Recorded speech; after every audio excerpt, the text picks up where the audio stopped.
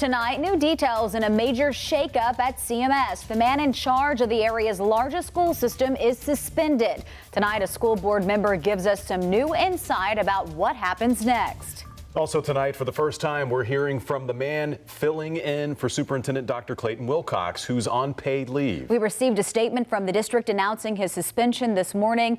The news comes just days after a closed-door meeting on Friday where we're told the school board discussed his performance. As of tonight, the board has not given a reason for the suspension. NBC Charlotte's Hunter Saenz is digging for answers this evening. He joins us live with the latest. Hunter? Fred and Sarah, tonight there was a meeting about a different issue. The now suspended superintendent was supposed to give a presentation there, but instead his replacement gave it. And we caught up with him right after.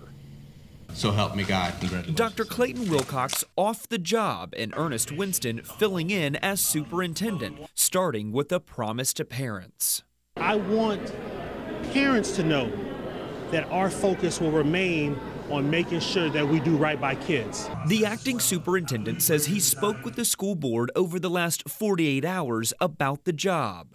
I thought long and hard about it, and ultimately I said yes because I care tremendously about this school system. School board chairperson Mary McCray not going into detail on why Dr. Wilcox was suspended, citing a personnel matter. We have to honor what his contract says. Wilcox will still be paid. His base salary went from $280,000 a year to $307,000 just this month on July 1st. Although nobody will say why he was suspended, some point to him being at the center of controversy. Under his leadership, the district stopped fingerprinting new employees for nearly a year, a violation of board policy. School board member Thelma Byers Bailey not saying how long the suspension will be, but says Wilcox's future is in his hands.